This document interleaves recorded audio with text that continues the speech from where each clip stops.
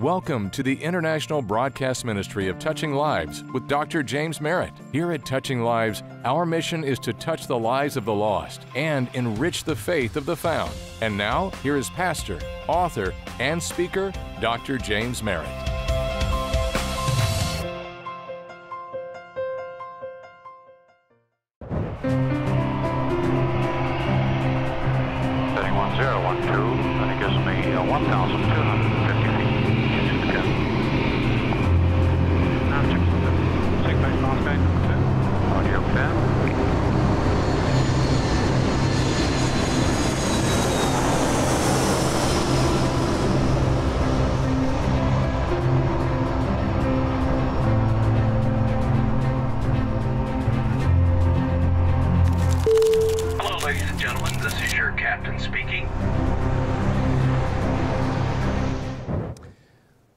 Say good morning to those of you who may be watching online or watching on TV around the world, for those of you who are in the building.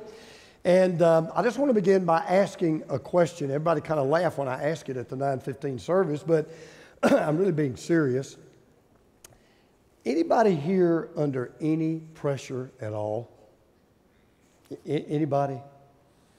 Um, you probably know this if you keep up any with college football. I was under so much pressure last night for about a half a football game that uh, Teresa took the gun away from me twice. I, I was just under unbelievable pressure. And I, I'm about to say something, and I'm not looking for sympathy. I want to say that I love what I do. God's called me to do what I do. If I had my life to do again, I'd like to do the same thing. But it didn't take me long to figure out once I became the pastor of even my first little small country church just how much a, pa- a pastor faces pressure and how much pressure you're under. We pastors have a little saying, it's called Sunday's coming. And what we mean by that is for you, Sunday, let's be honest, it's a take it or leave it day. You're here today because you chose to be here. You didn't have to be here. You could have gone to the lake. You could have gone down to Atlanta. You could have taken a ride to the mountains. You could have done whatever you wanted to do. You chose to be here. I don't have that option. I don't, if I get up in the morning and I don't feel like coming, I got to come. Uh, if I get up in the morning and I say, you know, I'd rather kind of take my boat out on the lake today, I can't do that. Because for me, don't take this the wrong way, Sunday is showtime. Sunday's go time for me. Sunday is game day for me. It, it's, it's, it's one of the biggest things I do in the week. And I don't get to skip church if I don't feel like coming or want to do something else. And so we, uh, you know, and, and one of the things you don't realize is we stand before a crowd of people every single week, like I'm standing before you right now. And here's what a lot of you are thinking. You would never admit it, but you are. And here's what you're thinking when you sit down and I stand up. You're thinking this thought it better be good today. You better make it worth my while coming today. You're about to show me whether or not you were lollygagging during the week or you really did your homework. And if you don't think that's pressure, let me give you an example. Go back to your high school days, your college days, and I want you to imagine that every week you had to do a term paper, every week. And not only did you have to do that term paper, you had to present that paper orally every week in front of a bunch of, prof- of professors who are grading your performance. And you got to do that every single week. I mean, every single week you've got to do this. In fact, your greatest nightmare when you do what I do is people will nod off and they will go to sleep. You know, one man said this about his pastor I haven't seen my pastor's eyes in such a long, long time. When he prays, he closes his eyes. When he preaches, I close mine. And, and so many people are like that. And you also learn no matter how well you do, one Sunday, you're only as good as your next sermon. And the pressure is relentless and it never lets up. And there are all kinds of pressures that I've, I've not even told you about. You don't ever see. You don't see the pressure of having to make sure you raise the money to pay the bills or to grow the church in a post COVID world. And you don't see the phone calls and the emails and the counseling and the giving advice and, and, and the troubleshooting and the managing conflict, setting a vision, leading the church, overseeing the staff. You don't see all of that. And I don't misunderstand me. I understand pressure, it goes with the territory. My question is today what pressure are you under? the financial pressure trying to make ends meet, the marital pressure trying to hold it together, the relational pressure trying to handle a wayward, disobedient child, the vocational pressure making quotas, meeting deadlines, pleasing difficult bosses, the emotional pressure trying to please a demanding parent or a coach. Maybe it's the personal pressure of trying to reach the high standards you set for yourself. I mean, I don't cook at all, but you ladies and men know what a pressure cooker is. It's when you put the pressure on and the heat turns up and it gives you the ability to turn solid fruit into mush. You can turn apples into applesauce, peaches into peach jelly. I believe our culture today is more of a pressure cooker than it has ever been. We're under tremendous pressure to think what everybody else is thinking, do what everybody else is doing, say what everybody else is saying, live the way everybody else is living, go along, get along, compromise your conviction, your character, your conduct. And the truth of the matter is, if you get up every day and you're going to think biblically, and you're going to live a biblical worldview, you are going to be in a pressure cooker. The question is, how do you handle that pressure? So we're in a series we're calling This Is Your Captain Speaking. Jesus wrote a, a seven letters to seven churches. And he wrote a particular letter, if you want to go ahead and turn in your Bible to Revelation chapter 2, the last book in the Bible. He wrote a letter to a church in Smyrna. And today, that's the modern city of Izmir, a city of about 3 million people in Turkey. It was an unbelievably prosperous city. It was kind of like New Orleans. It had a strategic port. It was a major trading city. It was very prosperous. It was very pagan. They worshiped Caesar. And you had a church there called Smyrna. And they were under tremendous pressure to deny God, to deny Jesus, to worship Caesar, join the cult of conformity. But they were able to show grace under pressure. They didn't bend, they didn't bow, they didn't budge. How did they pull it off? How did they handle grace under pressure? Because they remembered one thing that I want you to remember today. Whatever you are going through, remember who you're coming to. Whatever you are going through, remember who you're coming to. Now, I know normally most of you don't take notes. I'm going to encourage you to write down four things today because if you don't need them today, you'll need them tomorrow. If you don't need them this week, you'll need them next week. You don't need them this month, you'll need them next month because everybody goes under pressure. Nobody gets a get out of jail free card. Everybody faces pressure. The question is, how do you handle it? I'm going to tell you four quick things. Number one, the Lord knows what you're going through. The Lord knows what you're going through. The first words of this letter must have been a tremendous encouragement to this church. We're in Revelation 2, verse 8. To the angel of the, of the church in Smyrna, write, These are the words of him who is the first and the last, who died and came to life again. He said, I know your afflictions, I know your poverty, yet you're rich. I know about the slander of those who say they are Jews or not. They are a synagogue of Satan. Now, of the seven churches that Jesus wrote, there are two churches he didn't have one critical thing to say about. This was one of those churches. Even though it was a church under tremendous pressure, he said, I know the problems that you've got. By the way, the Greek word there for know there means to know by experience, not just in your head. Jesus said, Look, I know what you're going through. I've been through it. I know what it is to be rejected, misunderstood, lied about, abused, criticized, and even killed, even when you don't deserve it. And this church was facing the same things we're facing today, same thing Christians are facing today. First of all, they were being antagonized. Antagonized. Jesus said, I know your afflictions. The word there, affliction, literally means tribulation. It means to be crushed. It's the picture of taking a grape and squeezing that grape until all of the juice comes out. He says, Look, I know the pressure you're under. You're under this pressure of standing up for Jesus. You are under the pressure of not compromising truth because remember, the center of worship there was Caesar. Everybody worshiped Caesar. And by the way, you did not get a choice. Once a year, everybody in Smyrna was required to take a pinch of incense, go to the temple, walk by a little urn, burn that incense as a dedication to Caesar. All you had to say was two words Kaiser Kurios. Caesar is Lord. That's all you had to do. Once a year. But they wouldn't do it. They didn't take the incense. They didn't go to the temple, not even once a year. Oh, they would say two words. They didn't say Kaiser Kurios. They said Christos Kurios. Christ is Lord. And because of that, they were dragged out of their homes, they were beaten, they were tortured, they were in prison, and some of them were even killed. Now, I'm not trying to imply that we're facing that kind of pressure today because we're not. But I am telling you this we all know it. There's the pressure today for Christians and churches. Cave in, go with the flow, join the crowd, be in the majority, don't upset the apple cart, put your faith to the side. They were being antagonized. They were also being ostracized. Jesus says, I know your poverty. You say, well, wait a minute. I thought you said they were very prosperous city. They were like New Orleans. They were. And you could get a great job if you wanted one, with one exception. They had what was called guilds. We'd call them trade unions or labor unions today. To get a job, you had to join a labor union. But every labor union had a God, and you had to worship that God. So if you said, I'm not going to worship that God, you couldn't join the union. You couldn't join the union, you couldn't get a job. You couldn't get a job, you draw a paycheck.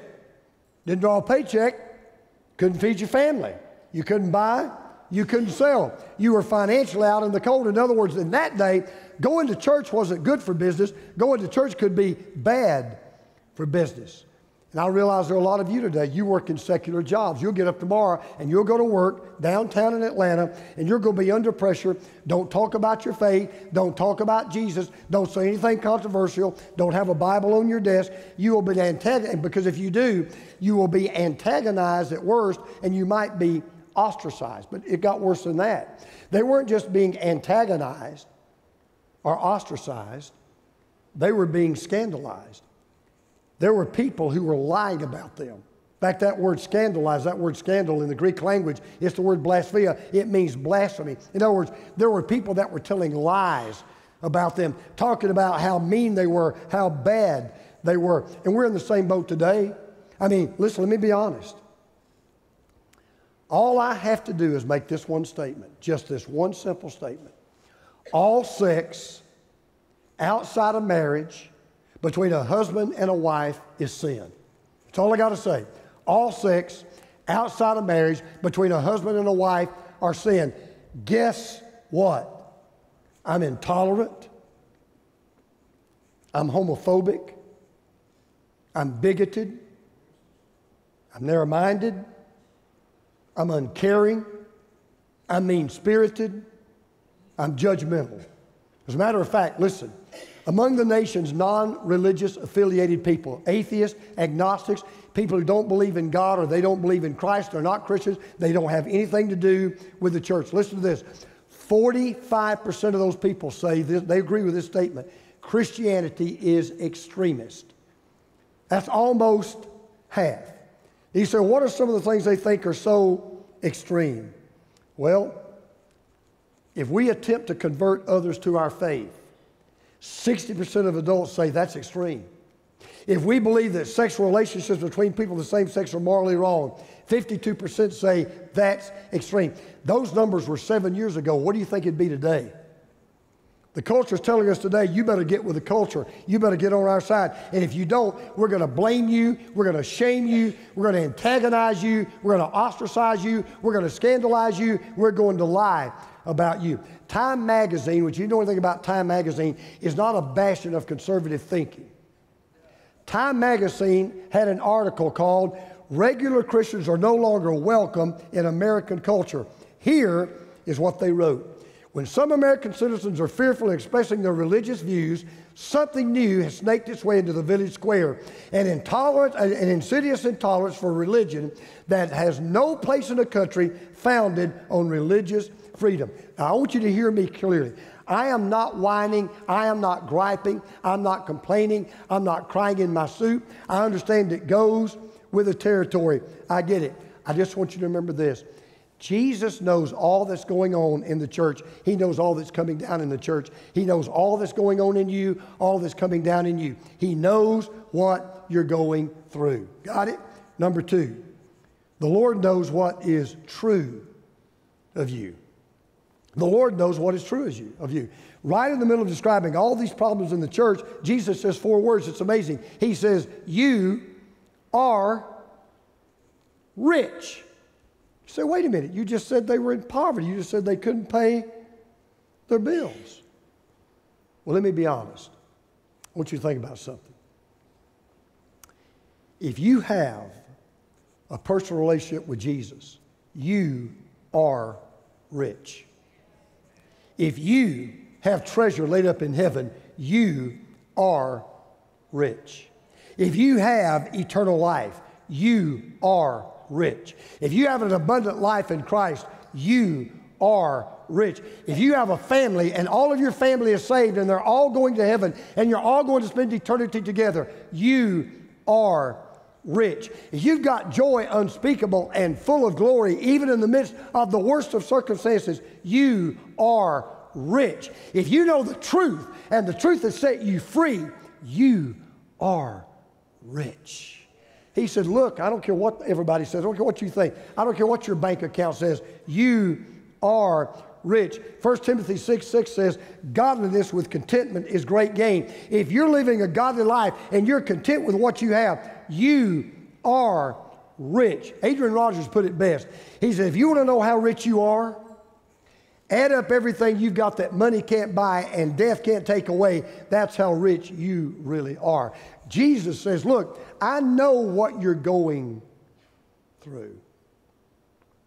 I know what is true of you.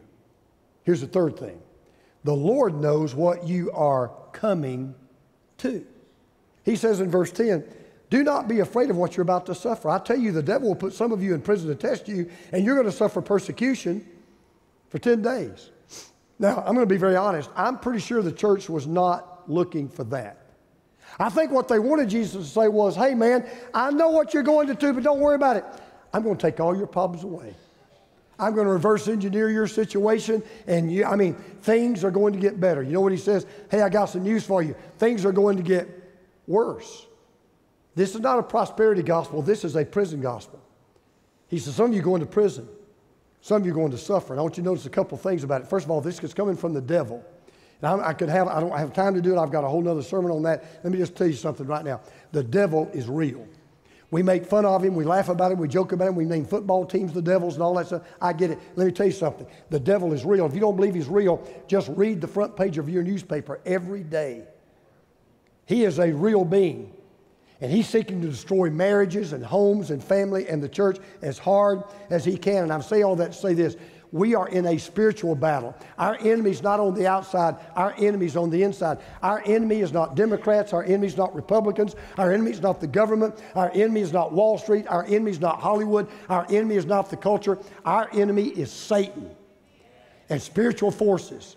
And we are not in a physical battle, a financial battle, an emotional battle. We are in a spiritual battle.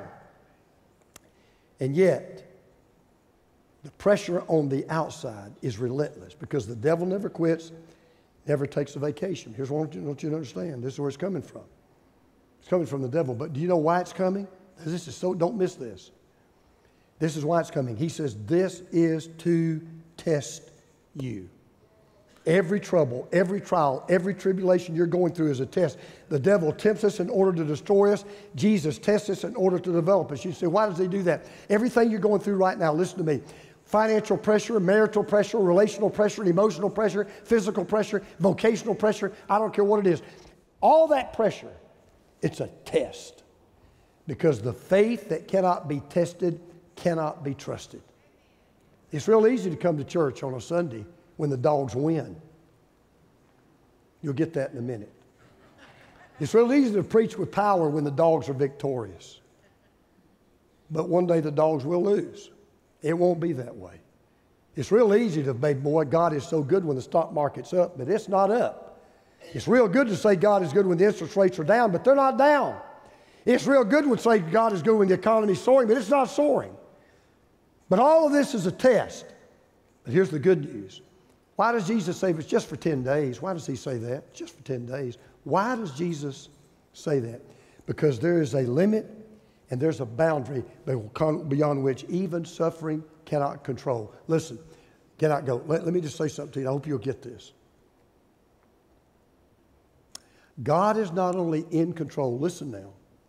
God is not only in control of you in your suffering, He's in control of the suffering over you. There's a limit. I don't know what that limit is, but God knows. You say, Pastor, is it true that God will not give me more than I can bear? No, that's not true. Life will give you more than you can bear, but it will not give you more than you and He can bear together. There's a limit. He said 10 days, 10 days, and it will stop. The Lord knows what you're going through. The Lord knows what is true of you. The Lord knows what you're coming to. Here's the last thing the Lord knows what you are to do. Because here's the big question everybody's asking. I would be. Look, you're not me anything I didn't know. Sure, I'm under pressure. That's what life's all about. You know what's really, in, in a way, it's kind of it's kind of sad for those of us growing older. You know, when you're younger, you think, you know, there's going to be a day when I'll get to that retirement age and I'll have my pension and I'll have my Social Security and I'll have my benefits, and everything's just going to be hunky dory. And then you find out every year there's pressure. Every day there's pressure. Every week there's pressure. The pressure never lets up. The question is, how do you handle it? You're going to have it. How do you handle it? What's the secret? How do you come out victorious? So, no matter how hard or how deep or how wide the pressure is, it doesn't matter. How do you handle it? All right, here's the key. Watch this, verse 10. Do not be afraid, be faithful. You to stop right there. Jesus gives two words of advice. You may be looking for more, but there's no more. Be faithful. Just be faithful. I'm so glad Jesus didn't say be successful because if, when it comes to success, many of us wouldn't make it. If Jesus had said, Do not be afraid, be brilliant, some of us are just not smart enough to make it. If he said, Be wealthy, some of us would never make enough money to make it. If he said, Be famous, many of us would be too unknown to ever make it. Here's what he said Be faithful. Now, watch this. Even to the point of death and you will get a victor's crown. And that's why he tells us no matter what we're about to suffer, do not be afraid. So let me just kind of let you draw in close here. What I'm about to say is true of all of us. When you're under pressure, I mean real pressure, I mean nut cracking, grape squeezing pressure, you will become one of two things. You will become fearful or you will become faithful. No in between. You will become fearful or you will become faithful. Now, when you're fearful, you're full of fear. when you're faithful, you're full of faith. That's why grace under pressure will always begin and end with one thing How much faith are you going to put in God? Because you're not going to be faithful unless you are full of faith. That's why I've told you a thousand times. If you're under a lot of pressure right now, Every day when you get up and that pressure busts you right in the face, God is right by your bed when you get up. He's looking at you. And before you get out of bed, God is looking at you and asking you one question Do you trust me or not? Now, if you don't trust me, I can't help you. But if you trust me, I will help you. But that's the question. Because if you don't trust Him, you will be fearful. But if you trust Him, you will be faithful. And He says, faithful to the point of death. Let me tell you what that means. That doesn't mean faithful until you draw your last breath, though you should. What Jesus was saying was, Are you willing to be faithful today, even if it were to cost you your very life?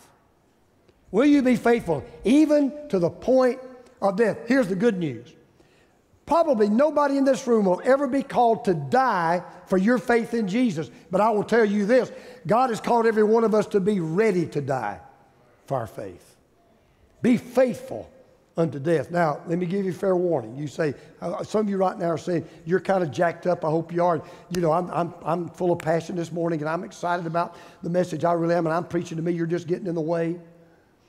And you're going, boy, rah, rah, rah, rah, man, I love it when you're like this. Give me that Knute Rockne speech. And you're sitting there, yeah, baby, I'm going to be faithful. Time out. I want to give you fair warning. I don't want to kind of bait and switch here. If you decide today in this world you're going to be faithful, the pressure ain't going down, the pressure will go up. This is not for the faint of heart. There's no, this is no place today for weak kneed Christianity. As a matter of fact, the more faithful you are, the more pressure you're going to face. Paul said, Everyone who wants to live a godly life in Christ Jesus will be persecuted. Let me tell you what that means. Do you know the difference between a live fish and a dead fish? All right, Jack, I know what you Florida guys are going to say. Well, of course, one's dead, one's alive. No, it means more than that. Do you know the difference between a live fish and a dead fish? Here's the difference. A live fish will swim upstream against the current. A dead stream just floats downstream with the current. So you're going to be a live fish, you're going to swim against the current because there's a spiritual law that's unbreakable. Here's the spiritual law compromise brings comfort, conviction brings confrontation. And some of you are saying right now, well, Pastor, I don't like confrontation. well, get in line. Neither do I. But if you're going to stand for Jesus today and you're going to stand for the Word of God and you're going to speak the truth, you're going to have confrontation. Oh, yes, listen, it's easy. There's nothing wrong with gay marriage. People love each other, that's all right. A woman ought to have the right to choose to abort an unborn child, take a life. If a, if a man feels like a woman, he ought to become a woman. All I got to do as a pastor say that. I'll be feted, celebrated. Oh, you've seen the light. You've got with the program. You're so full of love. You're so full of compassion. And all I will have is comfort. And I'm not trying to sound arrogant and I'm not trying to sound prideful. But you know me for, some of you know me for a long time if, that, if I am the last man standing, I am not going down the road of comfort and compromise. It means conviction, it means confrontation, then so be it. And then Jesus closes with one last encouraging word Whoever has ears, let them hear what the Spirit says to the churches. The one who is victorious will not be hurt at all by the second death. Here's what Jesus said if you're faithful unto death, here's the good news. You won't experience the second death. You say, whoa, whoa, whoa, what is the second death? You need to hear this. You don't want to experience the second death. We're all going to experience the first death, all of us. Now, the first death is when the soul or the spirit is separated from the body. That's the first death. Unless Jesus comes back first, we're all going to experience the first death. But the second death, that's spiritual. That's the separation of the Spirit from God. And Jesus says, if you're full of faith and you're full of faithfulness, you don't have to fear the first death and you'll never have to face the second one. So I want you to do me a favor. I want you to put down your pads, your notes, your, you know, your phone, your Bible, or whatever. Just give me your undivided attention just for two more minutes and I'll be done. This will be worth coming to church for. I want to tell you about a pastor that I read about. Never heard of him until I researched my message for this week. His name was Wang Ming Dao. Wang Ming Dao. Never heard of him. I had neither.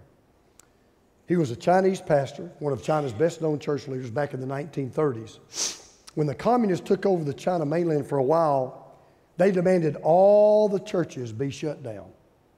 And everybody shut their church down except Pastor Wang. He didn't church, shut his church down.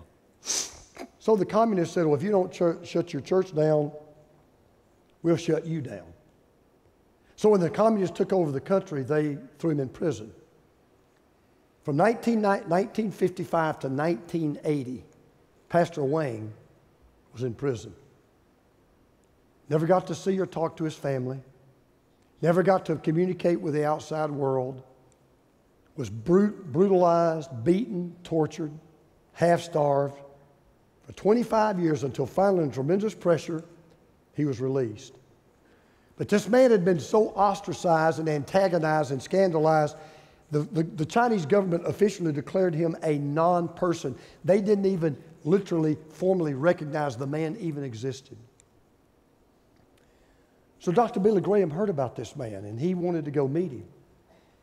Dr. Graham said it was the only place he went where none of the police officers or government officials traveled with him.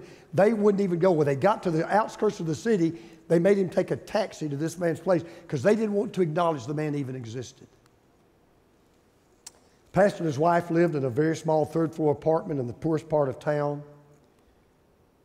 Dr. Graham knocked on the door, and his wife came to the door and greeted him. And at that time, of course, he was old, he was thin, had failing health. Dr. Graham said when he walked in, he walked into a little kitchen there, and he was sitting on a metal chair asleep, and he was resting on the kitchen table. He was taking a nap. When he woke up, they began to talk. Actually, he began to talk. Dr. Graham just wanted to listen. He wanted to talk to this great man of God, this wonderful man of God, who, like those guys at the fire furnace, would not bend, would not bow, would not budge. They talked for a long time. Dr. Graham said, Pastor Wang, for the church today, for Christians today, for pastors today. Do you have any word from the Lord? He said, Pastor Wang put his head in his hands for a moment and he thought. And he looked up at him and he said, um, Yeah, Dr. Billy, I do. He said, These would be my last words. If this was my last words on earth, this is what I would say to every church. And this is what I would say to every Christian.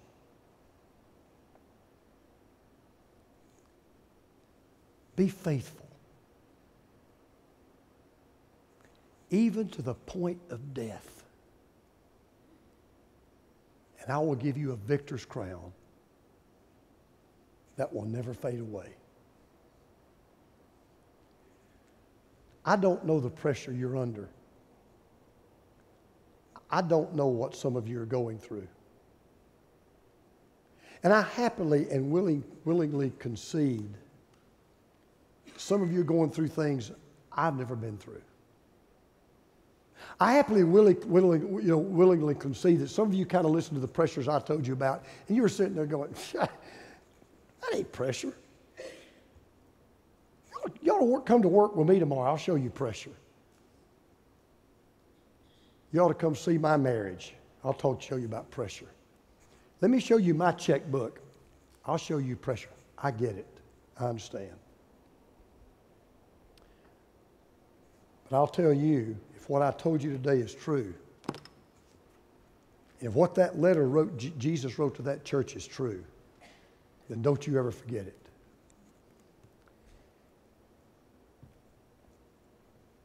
There, you may think sometimes, you know, nobody, you know, the old Negro spiritual, nobody knows the trouble I'm in. Jesus knows what you're going through. Jesus knows what is true of you. You are rich. Jesus knows what you're coming to. On the church Wade Church today. I had to make a gut wrenching phone call to a couple in our church whose 30 year old daughter tragically died Friday night. They had no idea Friday morning that they'd have a dead daughter Friday night. Jesus did. He knows what you're coming to. But when that moment comes and life smacks you in the face and knocks you flat on your rear end, and you think you can't ever get up, Jesus says, just be faithful. You trust me. You believe me. I have never failed you. I will never fail you. And if you will, and the smoke is clear and the fog is lifted, I will give you the victor's crown that will never fade away.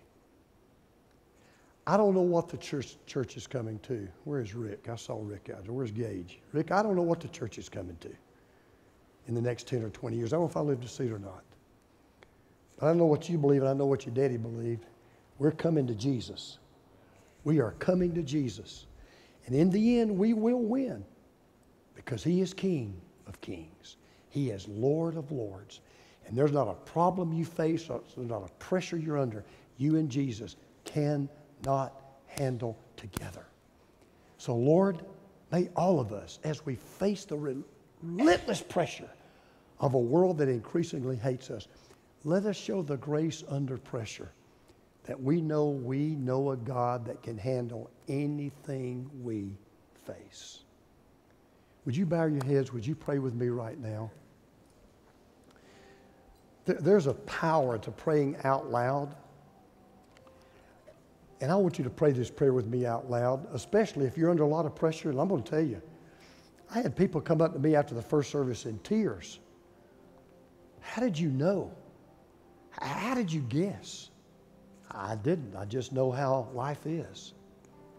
So you're under pressure today. Pray this prayer out loud. Listen, there's something encouraging about hearing other people pray with you. So when I ask you to pray, don't be bashful. Pray out loud with me. If you're a follower of Jesus, pray this prayer with me right out loud. Pray it right now. Say, Lord Jesus, you know what I'm going through. I'm not going through anything you've not been through. Lord, you know what is true of me. You've reminded me today I am rich in the things that count. Lord, you know what I'm coming to. I don't even know what's going to happen in the next five seconds. you know what's going to happen for all eternity.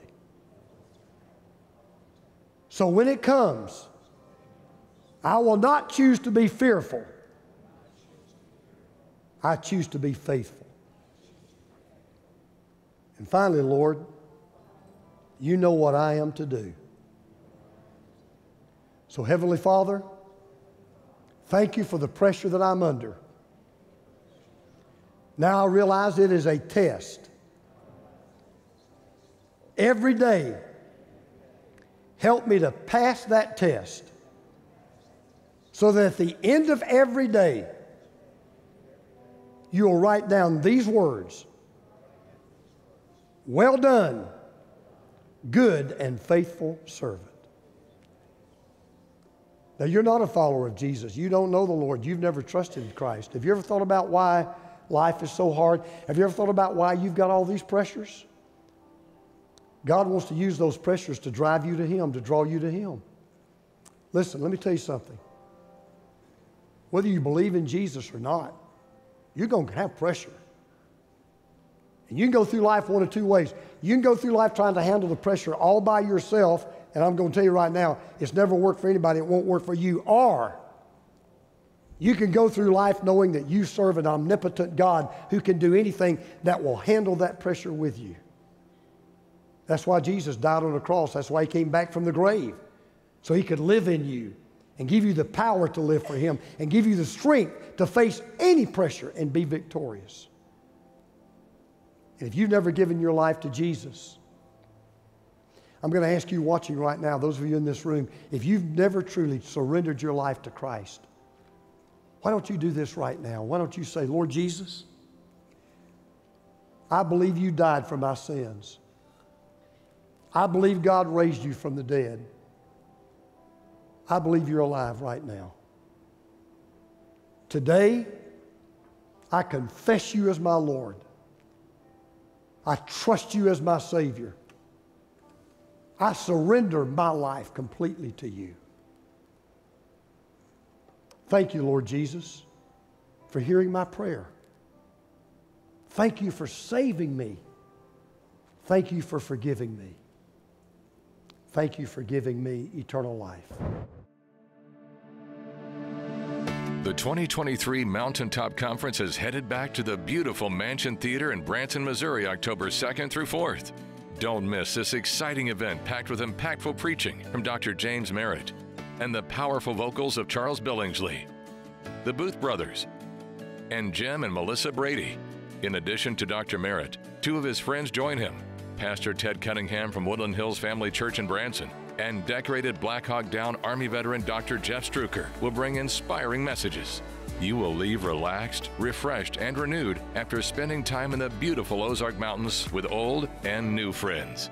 Visit mountaintopconference.com for all the details and make plans to join Dr. James Merritt at the 2023 Mountaintop Conference.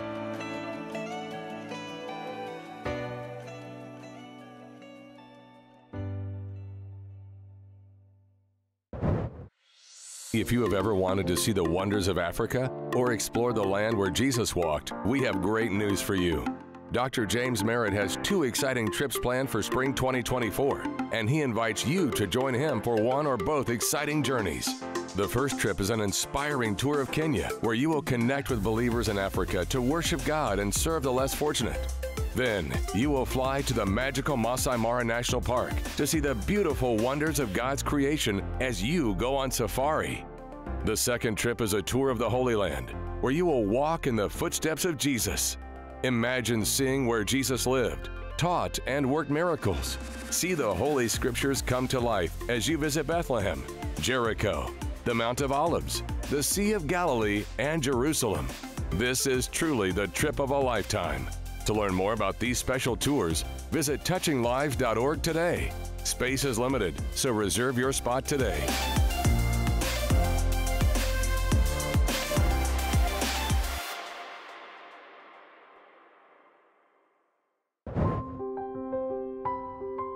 Touching the lives of the lost and enriching the faith of the found. This is Touching Lives with Dr. James Merritt. This broadcast is made possible by the grace of God and your faithful prayers and gifts.